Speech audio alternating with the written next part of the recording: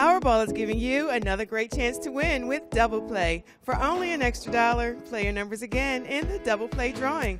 Double Play offers a top cash prize of $10 million every Monday, Wednesday, and Saturday. Now let's draw tonight's winning Double Play numbers. First number down is 47. Right after that, America, we have the number 62. Next up tonight, we have 63. That's followed by 53, and we're going to round it out with the number 51. Now, for your winning double play Powerball number, good luck, everyone. It is 16.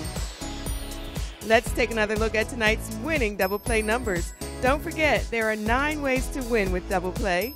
We'll see you back here Monday night, right after the Powerball drawing.